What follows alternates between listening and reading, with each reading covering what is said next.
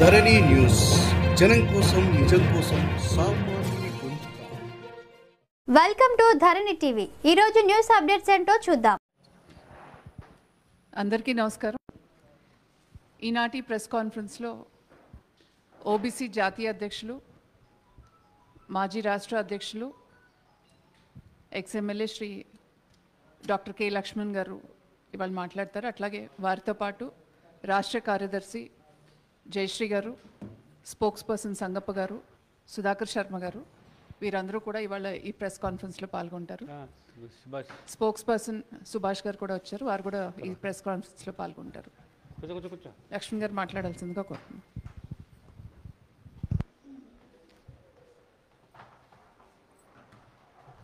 శర్మ పక్క కూర్చోవా? లాస్టా లాస్ట్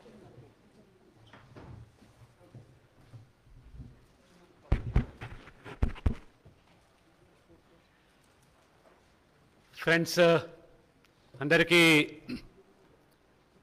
నమస్కారాలు.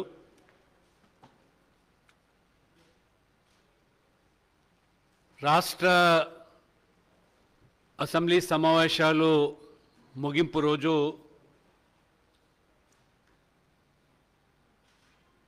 ద్రవ్య వినిమయ బిల్లు అప్రాప్రియేషన్ బిల్లు సందర్భంగా సీఎం కేసీఆర్ గారు మాట్లాడినటువంటి వైనం చూస్తూ ఉంటే మొన్న ఐదు రాష్ట్రాల ఎన్నికల ఫలితాలతో కాంగ్రెస్ కంటే కేసీఆరే ఎక్కువగా డిప్రెషన్లోకి జారుకున్నట్టుగా అర్థమవుతుంది.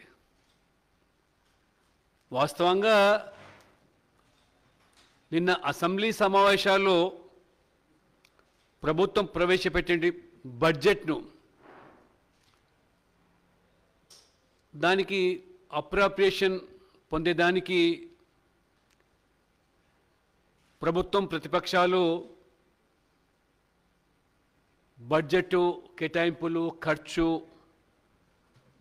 వాటి మీద మాట్లాడాల్సింది పోయి చాలా విచిత్రంగా కేంద్ర ప్రభుత్వం మీద భారతీయ జనతా పార్టీ ప్రభుత్వం మీద విధానాల మీద దాడి చేయడం తప్పితే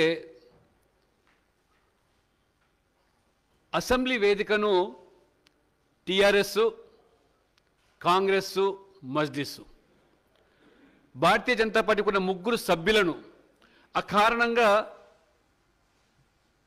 సస్పెండ్ చేసి ఇది ఒక టీఆర్ఎస్ కాంగ్రెస్ మజ్లిసు పార్టీల సమావేశాలు మాదిరిగా ఆ జరిగిన చర్చలు చూస్తూ ఉంటే ఆశ్చర్యం కలుగుతూ ఉన్నది. ఈ ఐదు రాష్ట్రాల్లో బీజేపీ నాలుగు రాష్ట్రాల్లో గెలవడము డబుల్ ఇంజర్ సర్కార్కే పెద్దపీట వేయడం ప్రజలు అభివృద్ధి పేదల సంక్షేమము మోదీకి అండగా ఉండేటువంటి ఆ రాష్ట్రాల ప్రభుత్వాల వల్లనే వేగవంతం అవుతుందని చెప్పి విశ్వసించి వారి పనితీరుకు ఆధారంగా ప్రో ఇన్కంబెన్సీ ఓట్.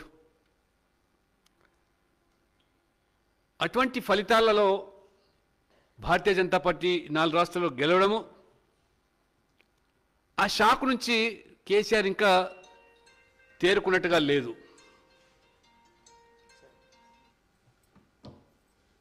అసలు విషయాలను పక్కన పెట్టి కేంద్ర ప్రభుత్వాన్ని విమర్శించడానికే మొత్తం ఈ అసెంబ్లీని వేదికగా మార్కు మార్చుకుంటే దానికి తగుదనమ్మా అని చెప్పి కాంగ్రెస్ సభ్యులు కూడా కేసీఆర్ తానా అంటే తందానా అంటూ చిడతలు వాయించడం చూస్తూ ఉంటే ఈ కాంగ్రెస్ కేసీఆర్ వేరు కాదన్నట్టుగా ఒకే గూటి పక్షులుగా ఈ అసెంబ్లీ సమావేశాల ద్వారా ప్రజలకు స్పష్టమైపోయింది. భారతీయ జనతా పార్టీ మేము మొదటి నుంచి కూడా కాంగ్రెస్ టీఆర్ఎస్ రెండు ఒక గూటి పక్షులని వారు సహజ మిత్రులని మేము చెబుతా ఉంటే ప్రజలను తప్పుదో పట్టించే ప్రయత్నాలు విన్యాసాలు ఎన్ని చేసినప్పటికీ వాళ్ళ నైజము నిజస్వరూపము నిన్న అసెంబ్లీ ద్వారా తేటెలమైపోయింది. ముఖ్యమంత్రి కేసీఆర్ గారు ఇంకా ఈ బీజేపీ ఫీవర్ నుంచి కోలుకోలేదు. అసలు సభలో బీజేపీ సభ్యులను సస్పెండ్ చేసి వాళ్ళ గురించే మాట్లాడడం ఆ పార్టీ గురించే మాట్లాడడం చూస్తూ ఉంటే ఎక్కడ వాళ్ళు ప్రశ్నిస్తారో నిలదీస్తారో ప్రభుత్వ తప్పిదాలను ఎండగడతారో ప్రజలకు స్పష్టమైన సంకేతాలు పంపుతారనేటువంటి ఒక దుర్బుద్ధితోనే బీజేపీ సభ్యులను సమ మొదలైనటువంటి క్షణంగానే మొదటి క్షణంలోనే అకారణంగా సస్పెండ్ చేసి ఏ రకంగా ఇవాళ కేసీఆర్ గారి ప్రసంగము అది కేవలం టీఆర్ఎస్ యొక్క ఎన్నికల ప్రచార సభలో మాట్లాడినట్టుగా ఆ వేదికను శాసనసభ వేదికను ఏ రకంగా దుర్వినియోగం చేసుకున్నారో ప్రజలు కల్లారా చూశారు. బీజేపీ పైన ఉన్నవి లేనివి కల్పించి కథలు కట్టుకథలు చెప్తా ఉంటే కాంగ్రెస్ ప్రేక్షక పాత్ర వహించడం కాకుండా అగ్నికి ఆజ్యం పోసినట్టుగా ఏ రకంగా వారు సిఎల్పి లీడర్ బట్టి విక్రమార్క కూడా గాంధీ గురించి గాడ్సే గురించి మతపరమైనటువంటి మరి రాజకీయాల గురించి బీజేపీ అపాదిస్తూ మాట్లాడిన తీరు ఆశ్చర్యం కలిగిస్తుంది. కాబట్టి ఇవన్నీ చూస్తూ ఉంటే కేసీఆర్ గారు థర్డ్ ఫ్రంట్ లేదు లేదా రీజనల్ ఫ్రంట్ లేదు. యూపీఏలో కలిసేదానికి మార్గం సుగమం చేసుకున్నట్టుగా అది మరి ఎన్నికల ముందా తర్వాత అనేది కాలమే తేలుస్తుంది.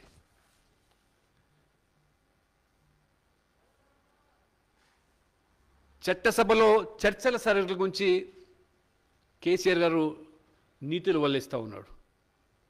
అంటే తమను ప్రశ్నించే వాళ్ళని నిలదీసే వాళ్ళను వాళ్ళని సభలో లేకుండా చేసి ఆయన దృష్టిలో పరిణతి చెందినటువంటి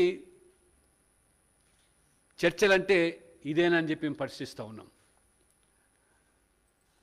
కేసీఆర్ గారు ప్రవేశపెట్టిన బడ్జెట్లో ఉన్న లొసుగులను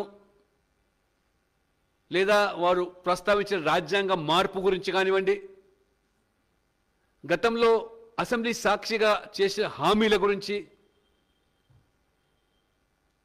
బీసీ సప్లాన్ నుంచి మొదలుకుంటే ఎస్సీ సప్లాన్ వరకు ఇవన్నీ కూడా సిఎల్పి లీడర్ బట్టి విక్రమార్క వారి గురించి మాట్లాడకపోవడం చాలా విడ్డూరంగా ఉన్నది. అసలు అప్రాపిషన్ బిల్లును ఎంత సాఫీగా కనీసమైనటువంటి ప్రొటెస్ట్ లేకుండా వాకౌట్స్ లేకుండా కాంగ్రెస్ ఈ ప్రభుత్వానికి ఏ రకంగా దోహదపడ్డదో ప్రజలందరూ కూడా గమనిస్తూ ఉన్నారు. ఒకవైపు హిజబ్ అనేటువంటి అంశం తెలంగాణలో ఆ ప్రస్తావన లేకపోతే కేసీఆర్ గారు ముఖ్యమంత్రి హోదాలో స్వయంగా హిజబ్ హిజబ్ అని చెప్పి వారు మాట్లాడుతూ ఉంటే దెయ్యాలు వేదాలు వలిచిలాగా ఉన్నది. ఎందుకంటే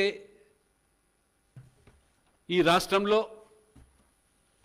మరి బైన్సాలో కానీ జరిగిన అల్లల పట్ల ప్రభుత్వం నిందితుల మీద చర్యలు తీసుకోకపోవడం బాధితుల మీదనే కఠినంగా వివరించడము మొన్నటి మొన్న కర్మాన్ ఘాట్లో కూడా గోరక్షలక మీద ఈ ప్రభుత్వం యొక్క దాడి దేనికి ఇవి సంకేతం?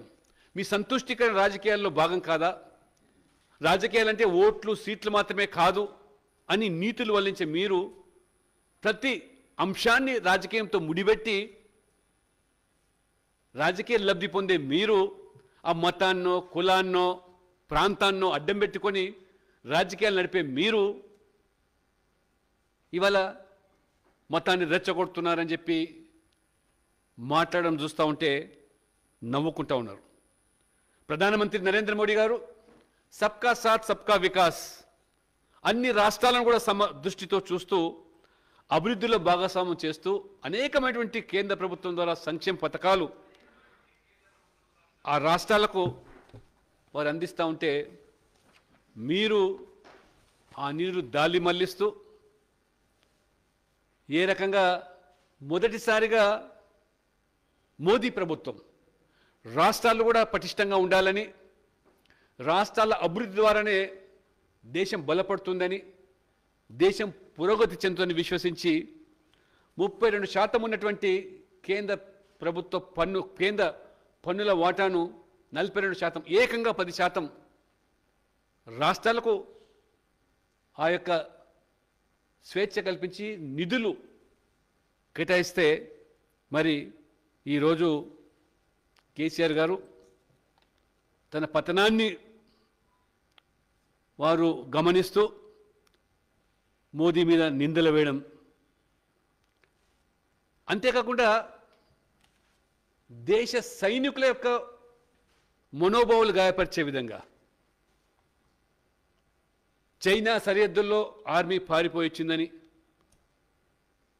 ముఖ్యమంత్రి మాట్లాడడం ముఖ్యమంత్రి కుమార్తె కాశ్మీరు హైదరాబాదు ఈ సంస్థానాలు బలవంతంగా భారతదేశంలో విలీనం చేశారని. మొన్నటికి మొన్న కేటీఆర్ గారు వారు కంటోన్మెంట్లో ఆర్మీ ఉండే ప్రాంతాల్లో నీళ్ళు కట్ చేస్తామని కరెంట్ కట్ చేస్తామని ఇవన్నీ ఈ దేశం పట్ల మీకు చిత్తశుద్ధి. ఈ దేశం గురించి ఆలోచన చేసేటువంటి బాధ్యత ఉన్న వ్యక్తులు మాట్లాడే తీరా అని చెప్పి మేము ఇవాళ ప్రశ్నిస్తూ ఉన్నాం. ఎవరో కన్నయ్య కుమారు ప్రకాష్ రాజ్ లాంటి వాళ్ళు వారు తుకుడే తుకుడే గ్యాంగు మాట్లాడే మాటలకు ఊతమిచ్చే విధంగా మీరు మాట్లాడుతూ ఉంటే దేశభక్తులందరూ కూడా వారు ఆవేదనకు గురవుతున్నారు.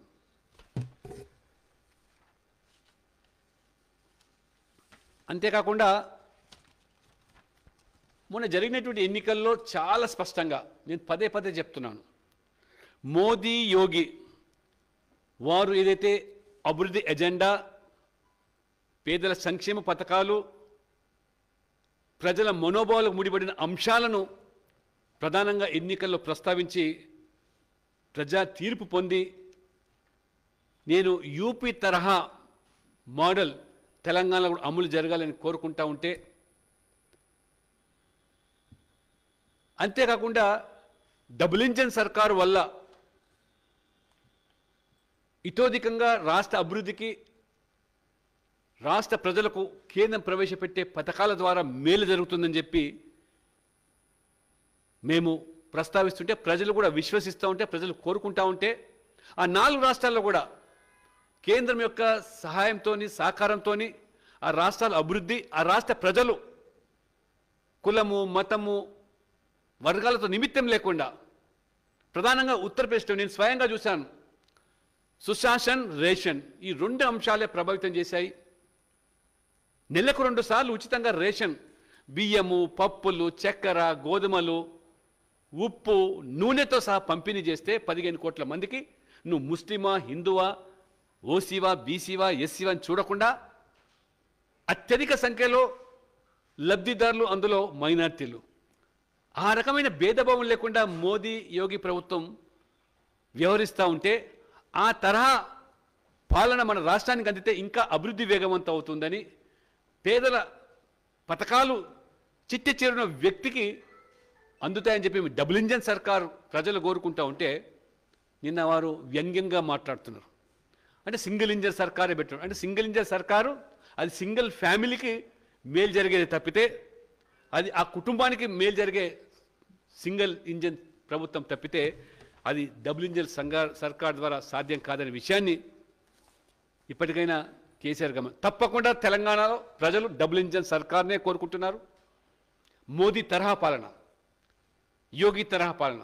మోదీ తరహాల పాలన యోగి తరహా పాలన అంటే అవినీతి రహిత పాలన కుటుంబ రహిత పాలన కుల రహిత పాలన మత రహిత పాలన ఒక transparent accountable governance.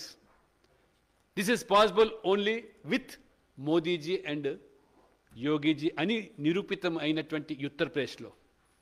కానీ మీరు కోరుకుంటుంది కుటుంబ పాలన అవినీతి పాలన లేదా సంకుచితమైన భావాలతో ఈ కుటుంబమే తెలంగాణ భావించే మీరు నరేంద్ర మోడీ ఈ దేశమే నా కుటుంబం అని ఈ దేశంలో ఉన్నటువంటి పౌరులే నా కుటుంబ సభ్యులని యోగి ఉత్తరప్రదేశ్లో ఉన్న ప్రతి పౌరుడు నా కుటుంబ సభ్యులుగా భావించి వారి పరిపాలన కొనసాగిస్తూ ఉంటే మీరు నా కుటుంబమే రాష్ట్రంగా మీరు భావించి మీ కుటుంబ క్షేమం కోసం అభివృద్ధి కోసం ఏ రకమైనటువంటి అవినీతి పాలన సాగుతుందో దానికి స్వచ్ఛ పలకడానికే ప్రజలు డబుల్ ఇంజన్ సర్కార్ కోరుతున్న విషయాన్ని మీరు విస్మరిస్తూ మీరు పదే పదే కేంద్రం ఏం చేసిందని కనీసం కేంద్రం ఇచ్చేటువంటి పథకాలకు ఆ ప్రాజెక్టులకు మీ వాటాగా డబ్బులు సమకూర్చుకోకపోవడం సరైన సకాలంలో భూమి లభ్యం చేయకపోవడం అది ఎంఎంటీఎస్ కానివ్వండి సెకండ్ ఫేజు లేదా ఆయుష్మాన్ భారత్ కానివ్వండి ఐదు లక్షల రూపాయలు ఆరోగ్య బీమా ఉత్తరప్రదేశ్ ప్రజలకు ఉత్తరాఖండ్ ప్రజలకు గోవా ప్రజలకు అందుబాటులో ఉంటే తెలంగాణ ప్రజలు చేస్తే పాపం ఏమిటి? అది కేవలం టీఆర్ఎస్ పాలనలో కొనసాగడమే ఇది పాపంగా ప్రజలు భావిస్తూ ఉన్నారు. ఎందుకంటే మన పడ్డ బాధలు ప్రజలు కరోనాలో ఐదు లక్షలు కనుక బీమా ఉండి ఉన్నట్టయితే ఎంతమంది ప్రాణాలు తెలంగాణ దక్కేదో? ఎందుకంటే ఈ కరోనా సైతం కూడా ఆయుష్మాన్ భారత్లో పరిధిలోకి తీసుకొచ్చినటువంటి ఘనత అది మోదీకే. మీరు ప్రధానమంత్రి ఆవాస్ యోజన కింద నలభై మూడు లక్షల మందికి ఉత్తరప్రదేశ్ ఇల్లు కట్టిస్తే మీరు మీనమేషాలు లెక్క పెడుతున్నారు. ముప్పై ఆరు వేల కోట్ల రూపాయలు రైతులకు సంబంధించిన రుణాన్ని మాఫీ చేసి ఒక కలంపోటుతో ఎనభై ఆరు లక్షల మందికి రైతులు మేలు చేస్తే మీరు గత మూడు సంవత్సరాలు ఒక రూపాయి రుణాన్ని మాఫీ చేయకుండా ఎన్నికల ముందు ఇచ్చే హామీని నిలబెట్టుకోకుండా మీరు ఏ రకంగా రైతులను దగా చేస్తున్నారో మోసం చేస్తున్నారో వీళ్ళు ప్రజలు గమనిస్తున్నారు. నాలుగున్నర లక్షల మంది యువతకు చదువుకున్న యువతకు ప్రభుత్వ ఉద్యోగాలు ఉత్తరప్రదేశ్లో కల్పిస్తే మీరు ఎన్నికలు లేదా ప్రజలు వాళ్ళ యువత తిరగబడుతున్నారని చెప్పి అసెంబ్లీలో ప్రకటనలకే పరిమితున్న మీరు ఇవాళ భూసార పరీక్షలు లేవు. ఈ రకంగా మరి అనేకమైనటువంటి ప్రతిపాదనలు కేంద్రం ఈరోజు ఈ రాష్ట్రానికి కల్పిస్తూ ఉంటే ఎయిమ్స్కు భూమి ఇవ్వమంటే మీనమేస లెక్క పెడతారు మీరు. ఆ రకంగా తప్పంతా మీది పెట్టుకొని కేంద్రం మీద నెపం పెట్టే వేస్తే ప్రయత్నం చేసిన నిందలు వేసిన మీరు ఆకాశం మీద ఉమ్మినట్టుగానే ఉంటుంది తప్పితే ఇతరత్ర కాదు. అందుకనే ఈరోజు నేను సూటిగాడుతున్నా అసలు. నరేంద్ర మోడీ గారు గుజరాత్ ము- ప్రధానమంత్రి అంటారు. ఉత్తరప్రదేశ్కి అంటారు. అసలు నేను అడుగుతున్నాను సూటిగా ఇవ్వాలి? మీరు అసలు తెలంగాణకు ముఖ్యమంత్రా లేదా గజ్వేల్కు ముఖ్యమంత్రా గజ్వేల్ ఉన్న ప్రతి ఇంటికి పది లక్షలు అంటారు. లేదా గజ్వేలు సిరిసిల్ల లేకపోతే సిద్దిపేట. మీరు అందుకనే ఈ కులాల కుంపట్లు ఈ యొక్క మత కలహాలు ఇవన్నీ కూడా తెలంగాణకే అది పరిపాటిగా మారినాయి. ఈ ఐదు సంవత్సరాల కాలంలో యూపీలో కానివ్వండి లేదా యోగి నాయకత్వంలో కానివ్వండి ఎక్కడ కూడా మత కలహాలు తావు లేకుండా మరి గతంలో ఉన్న వాటికంటే ఏ రకమైనటువంటి మరి ఆ యొక్క శాంతి భద్రతలు ఈరోజు అక్కడ కొనసాగుతున్నాయి చాలా ప్రజలు స్పష్టంగా. సుశాసన పేరు మీద మాఫియా గూండాలను జైలు ఊచలు లెక్కబెట్టే విధంగా వందల మందిని ఈరోజు జైల్లో గూండాలను మాఫియాలను జైలు పంపిస్తే వాళ్ళ ఆస్తులు ఇవాళ ప్రభుత్వం స్వాధీనం చేసుకొని ఈరోజు పేద ప్రజలకు వాళ్ళ పంపిణీ చేస్తూ ఉంటే మీరు ఇవాళ మత కళాల గురించి శాంతి భద్రత గురించి మాట్లాడుతూ ఉన్నారు.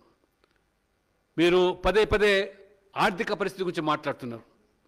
చేసిన అప్పులను ఈరోజు వాటిని తీర్చడానికి మళ్ళీ అప్పులు చేసినట్టుగా కాగు నిన్న మొట్టికాయలేసిందే. చాలా స్పష్టంగా నిన్న కాగు అప్పులు మీద అప్పులు చేస్తూ ఉన్నది ప్రభుత్వం. నాలుగు లక్షల కోట్లు ఇప్పటికే ఈ రాష్ట్రం అప్పుల పాలైందని. మీరు ఎఫ్ఆర్బిఎం పరిధి నుంచి తప్పించుకోవడానికి కార్పొరేషన్ల పేరు మీద ఏ రకంగా అప్పులు చేస్తున్నారో అది కూడా నిన్న క్యాగ్ చాలా స్పష్టం చేసింది. చిప్ అమ్ముకొని చెప్పులు కొట్టుకొని కొనుక్కున్నట్టుగా మీరు అప్పులు చెల్లించడానికి తిరిగి అప్పులు చేస్తున్న వైనం ఈ తెలంగాణ రాష్ట్ర ప్రభుత్వానికి. ఆ తెచ్చిన అప్పులతో పాత అప్పులు వడ్డీలు కట్టడానికే నేను స్పష్టంగా డెబ్బై ఐదు శాతం పాత అప్పులు తీర్చడానికి కొత్తగా అప్పులు తెచ్చిందని చెప్పి కాదు ఇవాళ తెలంగాణలో దాదాపు పద్నాలుగు రంగాలు కేంద్ర సంస్థల నుంచి తెచ్చుకున్న నిధుల ద్వారానే ఇవాళ కార్యక్రమాలు నిర్వహిస్తున్నాం. సింగరేణి బొగ్గుగని కార్మికుల వైద్య సేవల కోసం మీరు కోల్బెల్ట్ ఏరియాలో సూపర్ స్పెషాలిటీ హాస్పిటల్ కడతామని రెండు వేల పదహారులో బడ్జెట్లో నిధులు కట్టేస్తామని చెప్పిన మీరు ఇంతవరకు దాన్ని నెరవేర్చకుండా ఆ ఊసే ఎత్తకుండా మరి సింగరేణి గురించి మాట్లాడుతూ ఉంటే ఇవాళ సింగరేణి కార్మికులు నవ్వుకుంటా ఉన్నారు. ఈ రకంగా మరి రైతులకు బేడీలు వేసి ఆ రకంగా మీరు మద్దతు జరిగినటువంటి వాళ్ళకు లాఠీలు జరిపిస్తే ఎనభై ఆరు లక్షల మందికి యోగి ముప్పై ఆరు వేల కోట్ల రూపాయలు ఇవాళ రుణమాఫీ చేశారు. శాంతి భద్రతల గురించి మీరు మాట్లాడుతున్నారు. రెండోసారి అధికారంలోకి వచ్చిన తర్వాత ఈ యొక్క తెలంగాణలో నేరాలు పన్నెండు శాతం పెరిగి మానవ అక్రమ రవాణాలో రెండో స్థానంలో తెలంగాణ. చిన్నారుల మీద నేరాల్లో ఏడో స్థానంలో ఆర్థిక నేరాల్లో నాలుగో స్థానంలో ఇది మీ ఘనత. అందుకే తెలంగాణలో నంబర్ వన్ అని మీరు పదే పదే చెప్తున్నారు. దేంట్లో తెలంగాణ నంబర్ వన్? అవినీతిలో లేదా కుటుంబ పాలనలో నియంత్రిత పాలనలో మీరు తెలంగాణ నెంబర్ వన్గా ఈరోజు కొనసాగుతున్నారు. అందుకని ఇప్పటికైనా మరి కాంగ్రెస్ పార్టీ ఇప్పటికీ కనుమరుగైపోయింది దాదాపుగా దేశంలో. మరి కాంగ్రెస్ పార్టీ కొవ్వొత్తులా కరుగుతూ యూపీలో కూడా సమాజ్వాదీ పార్టీకి వెలుగునివ్వాలని చెప్పి తనను తాను అంధకారంలో నెట్టేసుకునేటి కాంగ్రెస్ పార్టీ. అదేవిధంగా తెలంగాణలో కూడా టీఆర్ఎస్కు వెలుగునివ్వాలని ఏదైతే ఇవాళ ప్రయత్నం చేస్తున్నారో నిన్న అసెంబ్లీలో మరి బట్టి విక్రమార్క గారి యొక్క పాత్ర కానివ్వండి కాంగ్రెస్ వ్యవహారం కానివ్వండి చూస్తూ ఉంటే ఇక తెలంగాణలో కూడా కాంగ్రెస్ పార్టీ మరి కరిగిపోయి కనుమరుగే రోజులు చాలా దగ్గరలో ఉన్నాయి. పైపచ్చు కేసీఆర్ గారు అంటున్నారు. బట్టి విక్రమార్క గారు చాలా బేసిక్గా మాట్లాడుతున్నారు కేంద్రం మీద దాడి చేస్తున్నారు పార్లమెంట్కి పంపాలని వారు కోరుకుంటున్నట్టు. ఎంపీగా. మరి మీరు కాంగ్రెస్ పార్టీ నుంచి పంపిస్తారా?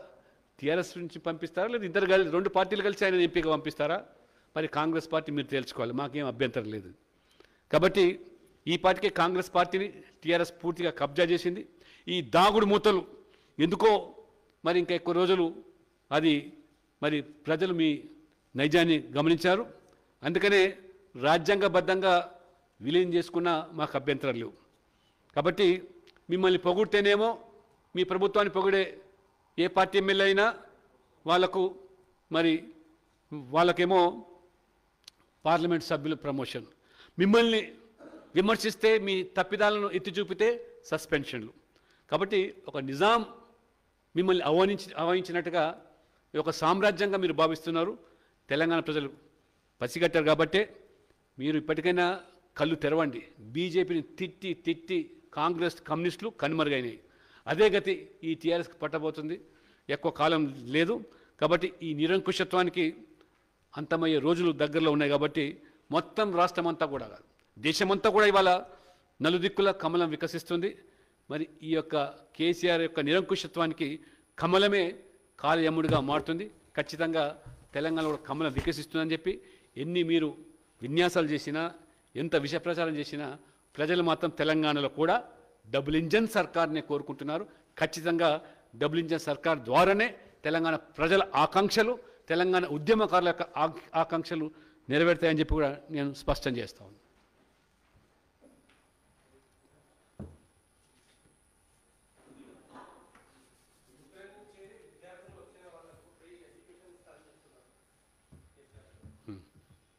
ఏంటి మంచిదే కదా? కాదండి మేము ఒకటి. ఉక్రెయిన్ నుంచి మొత్తం నేనే తీసుకొచ్చినగా చెప్తున్నా ఆయన. ఢిల్లీ నుంచి హైదరాబాద్ తీసుకొచ్చి ఉక్రెయిన్ నుంచి తీసుకొచ్చినగా మాట్లాడుతున్నాను ఇప్పుడు నేను ఇంకోటి అడుగుతున్నాను. సరే మంచిదే. మీ ఫీ రియంబర్స్మెంట్ సంగతి ఏంటిది? దాదాపు కొన్ని వేల మంది దాదాపు మూడు సంవత్సరాలుగా ఫీ రియంబర్స్మెంట్ ఊసే లేదు. దాని మీద ధ్యాస పెట్టండి. ఫీల్డ్ అసిస్టెంట్ గురించి నేను మాట్లాడుతున్నారు. ఆ ఫీల్డ్ అసిస్టెంట్ పాపం ఎవరిది? రెండు సంవత్సరాలు వాళ్ళను ఉద్యోగాల నుంచి ఊడబెరికింది చేసిన పాపం ఏమిటి? అంటే సమ్మె చేస్తే అంత నిరంకుశత్వం. దాదాపు డెబ్బై మంది చనిపోయారు. ఆ డెబ్బై మందికి పూర్తి బాధ్యత ఈ ప్రభుత్వమే ఈ ప్రభుత్వమే యొక్క హత్యలేవి. కాబట్టి ఆ కుటుంబాలను ఆదుకోవాల్సిన బాధ్యత ప్రతి కుటుంబానికి కోటి రూపాయలు ఇవ్వాల్సిన అవసరం ఉంది. ఆ రెండు సంవత్సరాల జీతాలు కూడా మీరు ఇవ్వాల్సిన అవసరం ఉంది. ఇంతేకాకుండా విద్యా వాలంటీర్లు అనేక మంది మున్సిపల్ కార్పొరేషన్లో కాంట్రాక్ట్ బేసిస్లో పనిచేసే ఊడబెరికినారు. వీళ్ళందరినీ కూడా విధిలోకి తీసుకోవాల్సిందిగా కూడా భారతీయ జనతా పార్టీ డిమాండ్ చేస్తుంది. నిన్న మా అధ్యక్షులు బండి సంజయ్ గారు కూడా ఢిల్లీలో ఈ విద్యా వాలంటీర్ల విషయంలో కానివ్వండి లేదా ఈ యొక్క అవుట్సోర్సింగ్ కాంట్రాక్ట్ ఉన్న వాళ్ళని తొలగించిన దాంట్లో దాని మీద కూడా ప్రభుత్వం స్పందించాలి.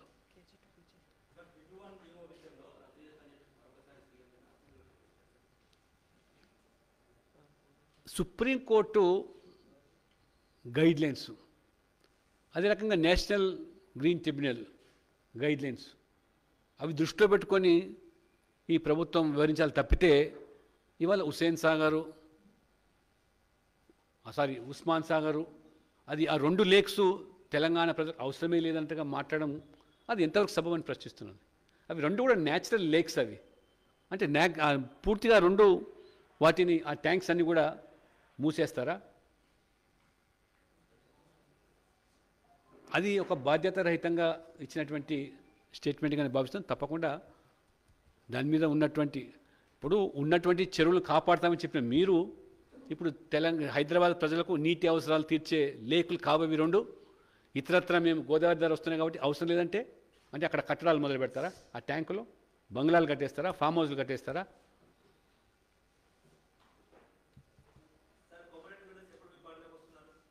చెప్తామమ్మా తప్పకుండా చెప్తాం. డేట్ తప్పకుండా చెప్తాం. చెప్పే రోజు వచ్చే రోజు తప్పకుండా మేము చెప్పకుండా చేస్తామా? మిమ్మల్ని పిలిచే మీ సమక్షంలోనే. చాలామంది బ్రదర్స్ ఉన్నారు అట్లా. ఒక బ్రదర్స్ ఎందుకు? చాలామంది బ్రదర్స్.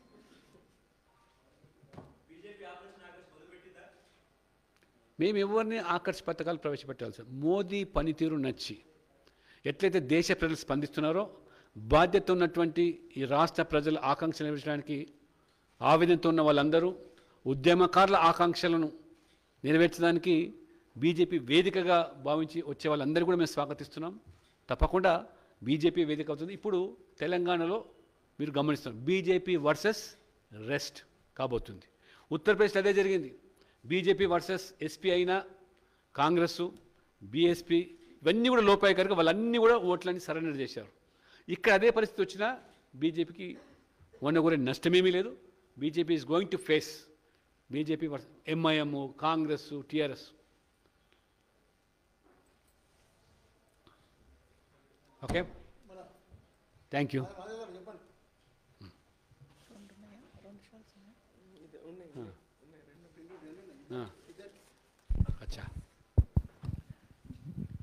N V Subhash గారు అండ్ సంగప్ప గారు సీనియర్ జర్నలిస్ట్ వీళ్ళిద్దరూ మొన్న కొత్తగా స్పోక్స్ పర్సన్స్గా నియమించబడ్డారు. సో డాక్టర్ లక్ష్మణ్ గారు వారికి షాల్వాతో సత్కరించాల్సిందిగా కోరుతున్నాం.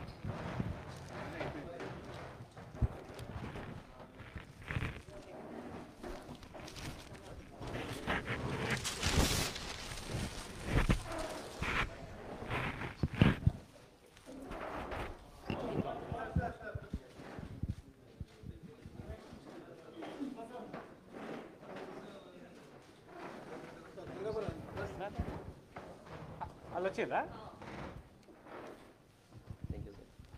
వెల్కమ్ మీరు వాళ్ళని బాగా చూసుకోండి వాళ్ళు మిమ్మల్ని బాగా చూసుకోండి. మీరిద్దరు కలిసి పార్టీని బాగా చూడండి.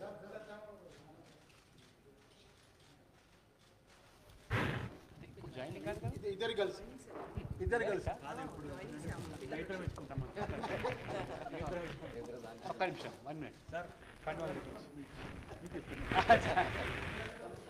Double engine సర్కార్ ఇద్దరు కలిసి ఎవరు ఎవరికి ఇస్తున్నారో తెలియట్లేదు అట్లే ఉంటుంది. Thank you, thank you. ఒక్క నిమిషం ఎవరు చేస్తున్నారంట శేఖర్ కండవాళ్ళు చెప్పి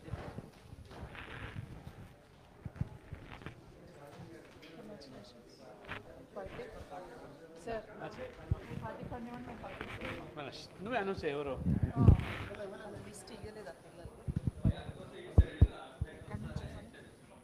शैलेंद्र आ जाओ अंदर सबको उठाओ नामा लिखिए आप लोग नामा लिखिए ठीक है आ जाओ ఒకరి పేరు చెప్పు వాళ్ళు ఎక్కడ ఏంటి?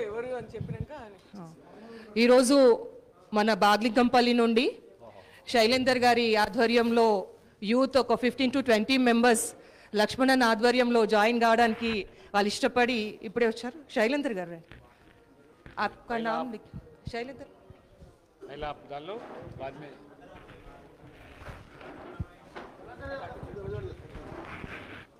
నువ్వు చెప్పు నీకు తోల పేరు చెప్పు అన్న రామా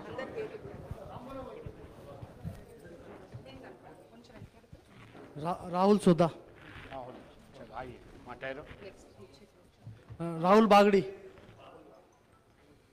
माटायरो राहुल बागड़ी आजा आजा आजा बाकी लोग विनोद बाद में लो विनोद पूरा नाम और फोन नंबर लिख विजेंदर రాధిక ఆధ్వర్యంలో జరుగుతున్నారు विक्की राजा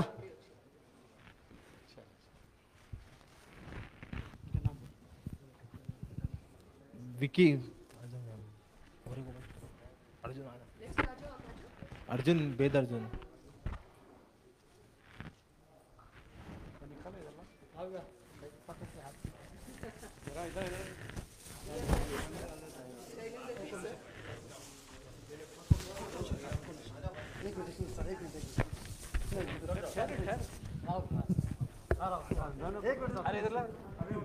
వాల్మీకి సమాజ్ నుంచి కూడా యూత్ వచ్చారు. ప్లీజ్. వాల్మీకి సమాజ్ ఆధ్వర్యంలో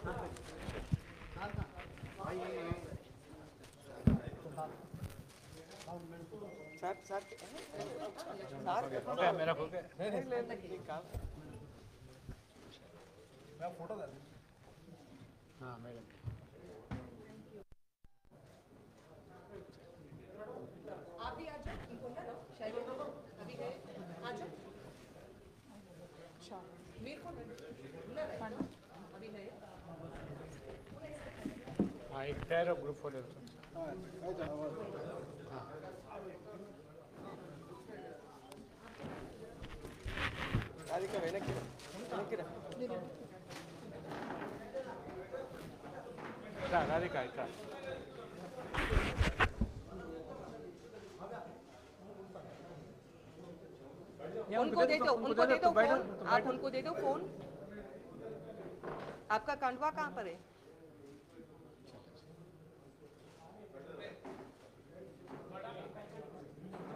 ಇಲ್ಲ ಇಲ್ಲ ಪಟ್ಟ ಡಾಲೋ ಈ ಪಟ್ಟ చలే ఇవి ఇప్పటి వరకున్న న్యూస్ అప్డేట్స్ మరిన్ని న్యూస్ అప్డేట్స్ కోసం చూస్తూనే ఉండండి మీ Dharani TV Thanks for watching this video. Please like, share and subscribe to Dharani TV.